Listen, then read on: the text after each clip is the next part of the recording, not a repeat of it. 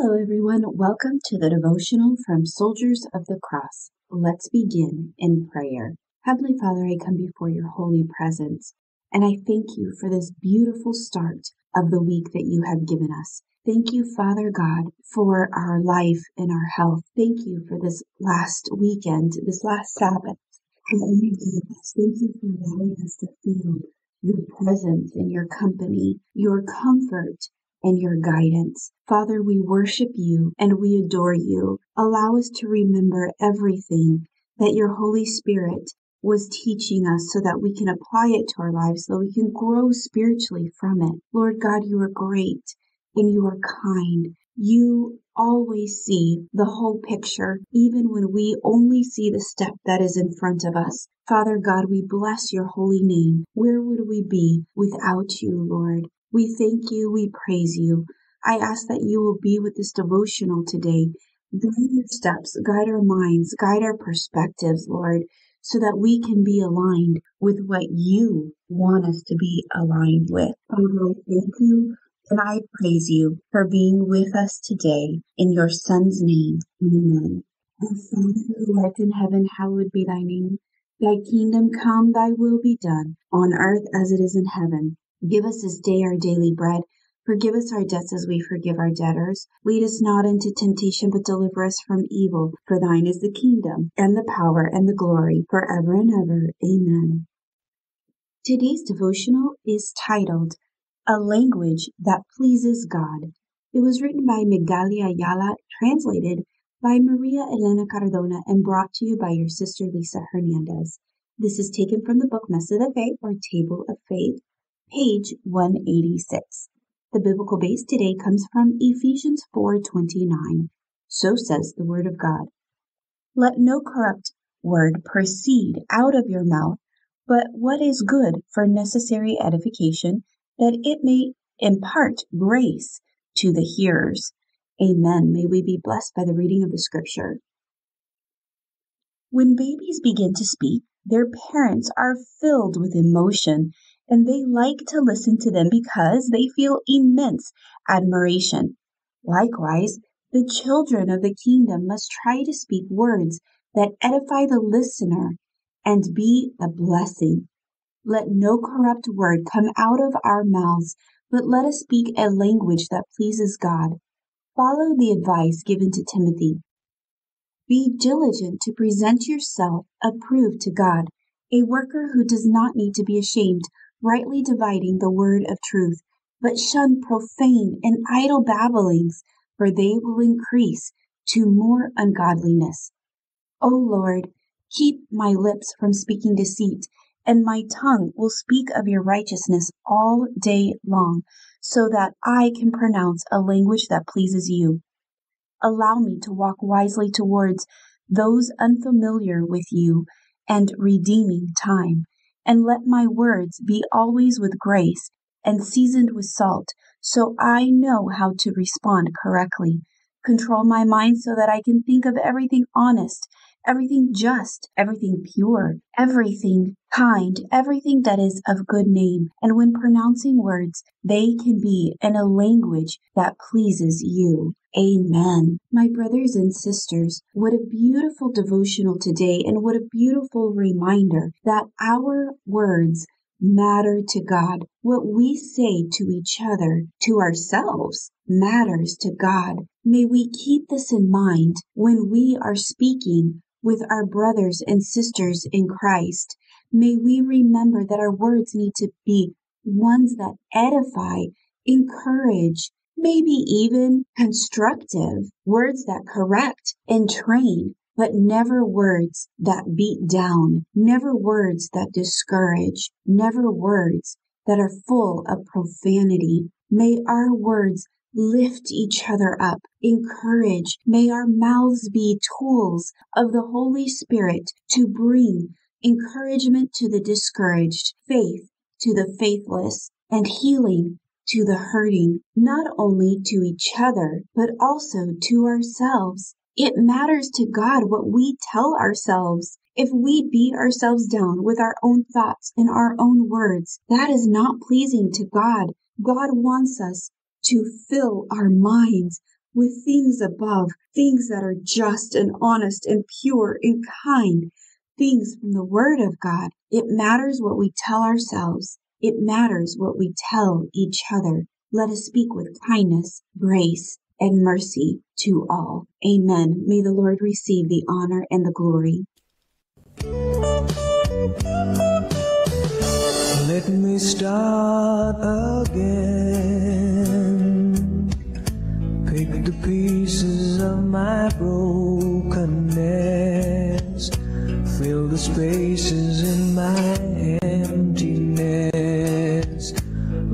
Start again. Let me start with you, Lord. Everything begins with you. All my winnings and my losings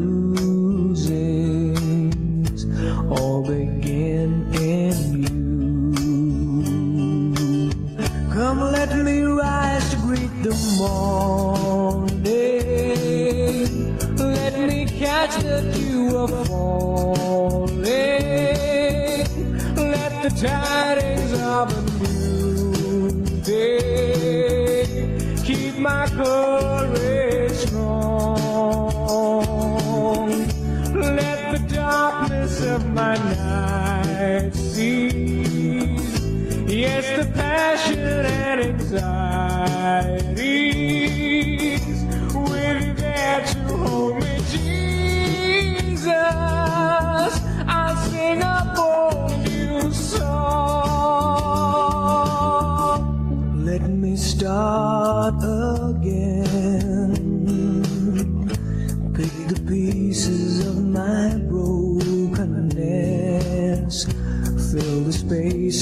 My emptiness.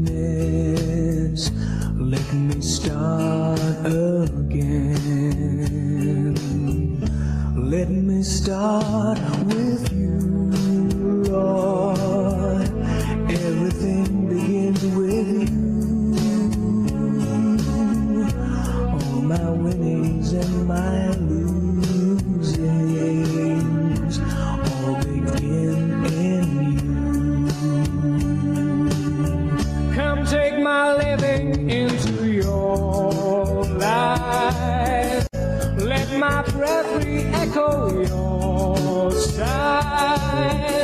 of my thoughts and words and deeds, Lord. Take complete control. May my life surrender see me, trusting for your power to heal me from my fragmentation. Jesus, you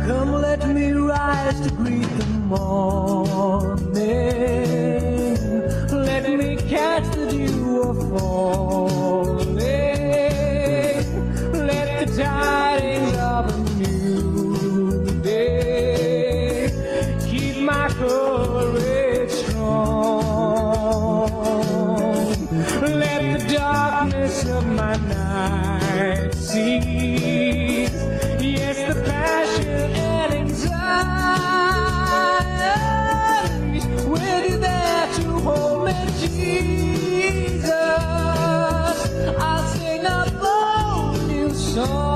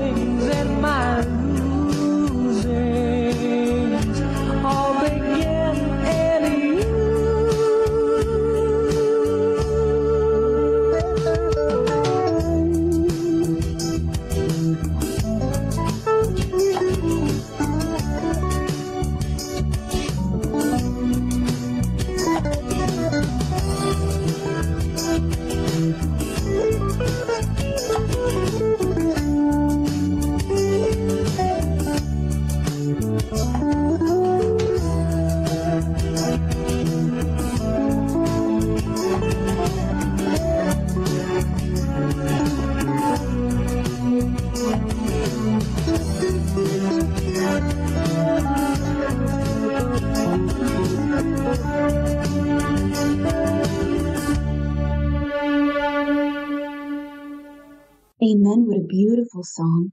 And now we invite you to check out the YouTube channel, SCC English Ministry, for our daily Bible reading. And now we ask that the blessed love of God, the grace and peace of our Lord and Savior Jesus Christ, the companion and communion of the Holy Spirit, our great counselor, be with all of his children, now and forever. Amen.